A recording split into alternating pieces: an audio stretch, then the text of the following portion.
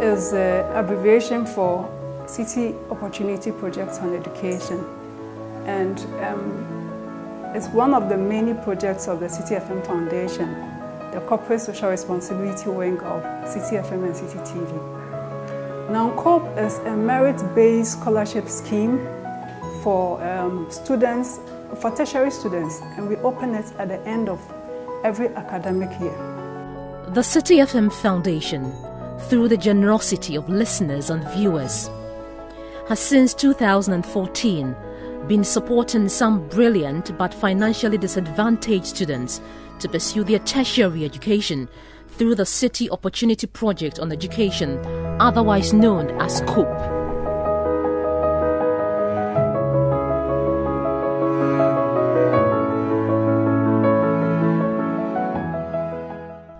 One of them is this young lady, Abigail Simon, a second year student at the University for Professional Studies. School had not reopened at the time she agreed to speak to us, so we visited her at her home in Manhia, in the Greater Accra region. After primary school, Abigail moved to the Accra Girls Senior High School where she was a business student. However, she said with no hope of going to the university because of her poor background. A friend spoke to her about COPE. I got to know about COPE through a friend. I told her that I had no chance of going to the university, and she was like, because of my results, and then we being friends in school, she she she will try to help. So I was, she was always talking to me. Then she was like, she applied for a scholarship and she had it.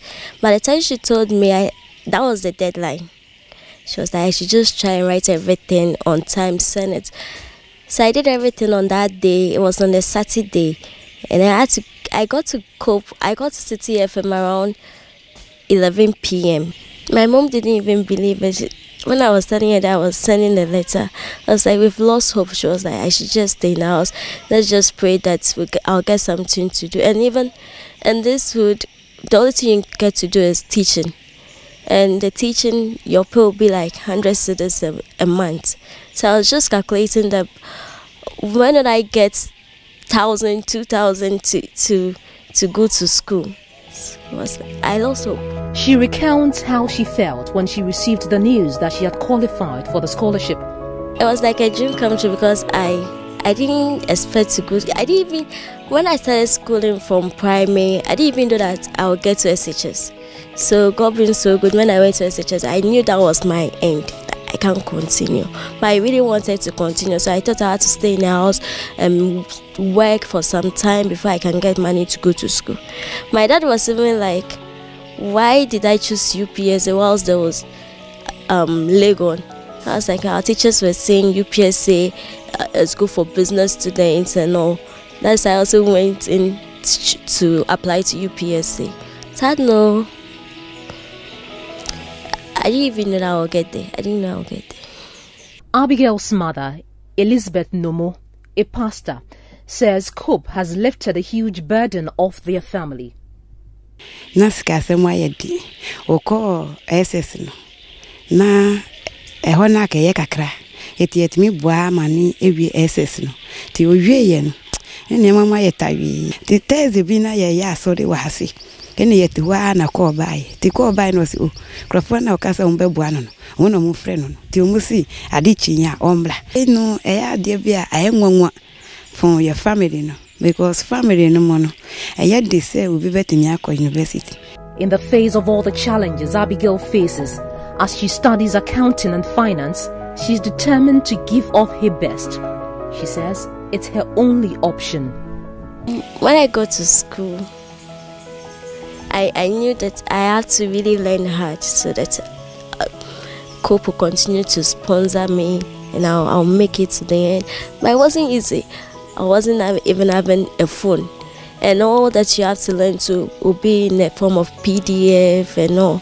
So I had to go to my friends to learn. Sometimes to, it's like they'll be like they are going home and all. So I have to make sure that I pay attention in class. So when I'm in class and anyone is talking, I wouldn't I wouldn't listen to that person because if maybe who knows I wouldn't get to learn that thing again. So I had to make sure I get it in class. It wasn't easy. I go to school. It wasn't easy. So I was struggling with French. Because French, you don't understand it, and then there was no book to help. We, we didn't even have slides. No one could teach you.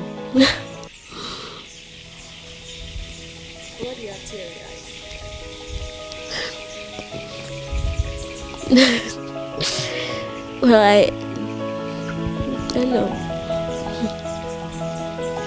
After a hearty interview, it was time to part company and meet another COPE beneficiary.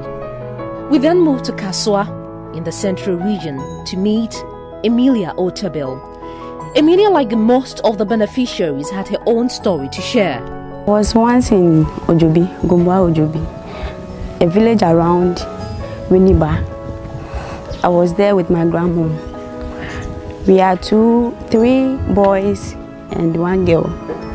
So I was staying with my grandmom until I completed SHS before I moved to my brother here. SHS because I wanted to do some, uh, somebody great in future and there's no money in the house. I decided to stay with somebody so that maybe the person will be paying my school fees, me to be helping her small, small. So I moved to Ashaiman.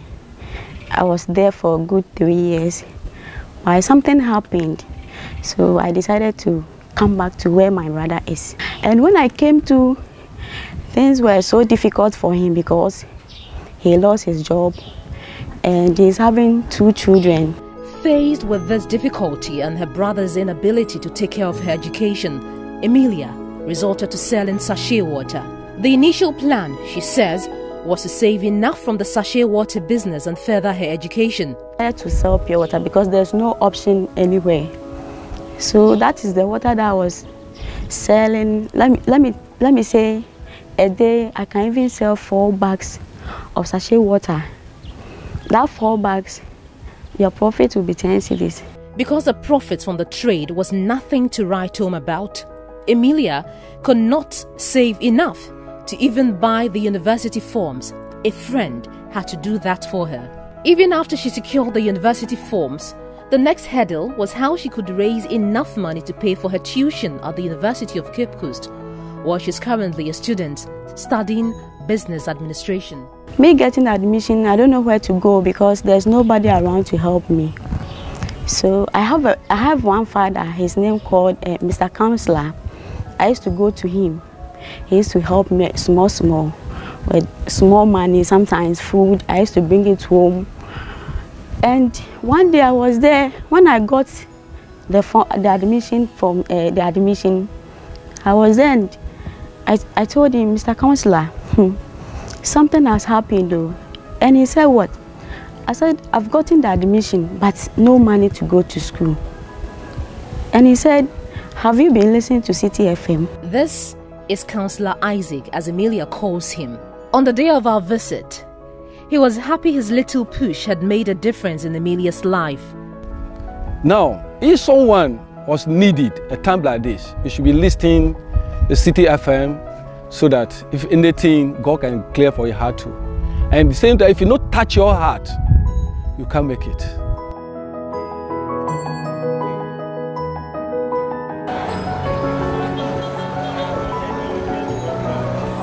Madina Zongo Junction. We've come to this area to meet Xavier Koda, one of the many beneficiaries of COPE. He's a second year student at the University for Professional Studies, studying accounting and finance. He lives here with his sister, Rebecca Koda, and a few tenants. Xavier Koda completed Akpando Senior High School in the Volta region with excellent grades. But he needed more than that to go to the university. He came from a family of farmers, but the proceeds from the farming activities were not enough to move him to the next level on the educational ladder. My father is a farmer. My mother is a trader, so we had no choice than to farm in order to have a living. So, yeah, so we do go to the farm, harvest some crops, maize, cassava, yeah, we can come back and come and sell it at the market. Yeah, to just raise some money for foodstuffs and um, uh, the education as well. Saviour's sister, Rebecca, 25 years, was herself forced to abandon school after completing senior high school because of a lack of funds, something she never wanted her younger brother to go through. She then moved to Accra from the Volta region to find a job and take care of her brother. She landed a job as a waitress in a restaurant, but her salary could only do so much. Yeah, he completed his secondary school in Pandu in the Volta region and he, he passed out very well. And um, we have no money to further his education so we heard about COPE.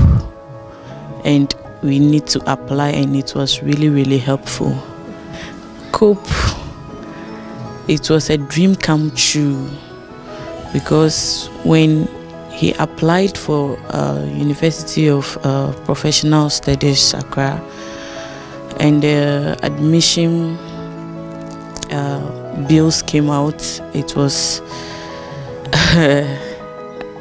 that day I cried because when I look at my left right back and front. There was no one to help because my mother had no work doing and my father too before he died. So there was nothing to look up to or to solve for his education. I used to I used to have plans of going to school furthering my education but with no help I, I don't think I can if I get a help from anybody I would like to uh, go to uh, any business school because in my SCJS I offered business and my dream was to be an accountant. Citi FM scholarship scheme has helped put students in some of the country's public tertiary institutions. The University of Ghana, Legon, the Kwame Nkrumah University of Science and Technology, the University of Cape Coast, the University for Professional Studies are just a few of them. We currently have about 65 students benefited and are still benefiting from COPE. 20 have completed their tertiary education and are currently working, thanks to COPE. Now we have about 45 students who are on the scheme currently. This year we are hoping to take 25 more students to make it a total of 70 students. After speaking to the students who are currently on the scholarship scheme, it was time to meet some former beneficiaries of COPE. Our road trip took us to Buahini Krum, a small town near Otukwejo in Nsawam in the eastern region. Residents here are predominantly farmers. We've come here to meet Timothy Anku, a former COPE beneficiary who's now a teacher in the school, the Buahini Krum MA Primary and kindergarten. We have what we also call magnetic force. Okay, do you know a magnet? Do you know a magnet? Yes. Uh-huh. Um, I grew up at Rara. Rara is in the Volta region, an Akan community. Um, I started basic education at Rara Anglican Primary and then later went to JHS, EP, which is also situated at Rara. And then from there, I went to SHS at KJB, Asatu Senior High School. It's also situated at KJB, which is also an Akan community at the Volta region. And then from there, I moved to Medina. From Medina, I came here. My mother, after um, retirement, my mother was at Media. Uh, so I came down here and um, with the, uh, you know, the college is um, Presbyterian College of Education, which is situated at um, Akropong. So it's also in the eastern region. So I decided to, you know, be in the eastern region to help, just as Hope helped me. And I like to be in the village too. Timothy, however, wants to be a soldier in future. In all my life, I, I may say from SHS, I, also, I always wanted to be a soldier. I had passion for it. I wanted to be a soldier. But because I applied three times and I couldn't get it, that's the reason why I'm here. But all the same, I love this work. After our meeting with him, Timothy insisted that we visited his farm. He says he was given the land by the chief as a source of motivation for him, since most teachers refuse postings to schools in deprived communities like Boahini Krum.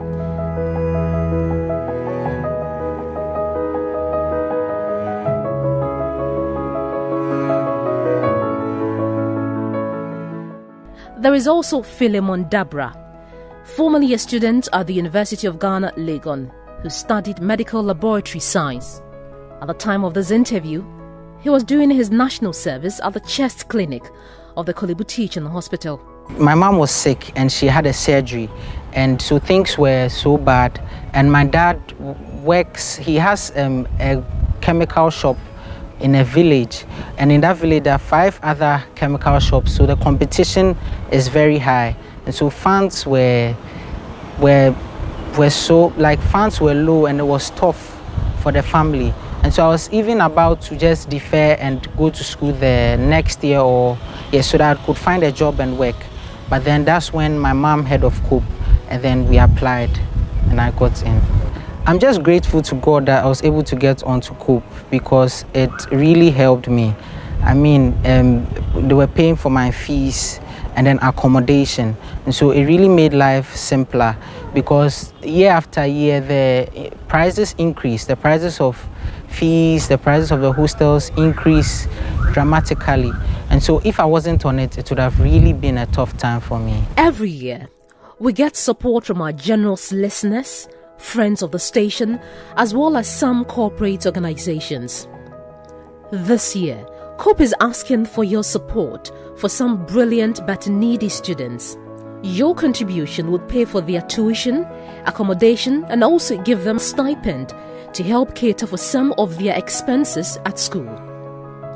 Please send your contributions to the mobile money number 0550 900 006.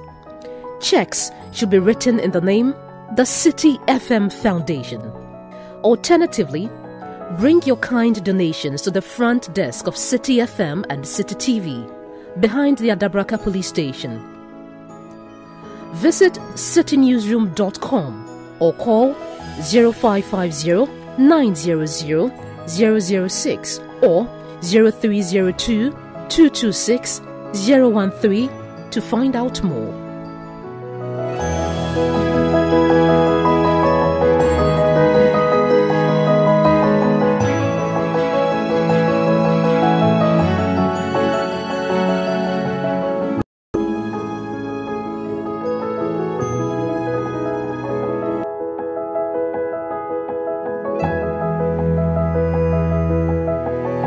Want to say a very big thank you to Citi FM and Citi TV for bringing up the idea of COPE to support the likes of me and many others to give us a quality education. And I really appreciate it. And God richly bless Citi FM and TV. Thank you very much. Because of what COPE has done for me, I, I really want to help. Should I make it, I will help those that don't have so that they'll also get there. COPE is real. COPE is real. It's really real.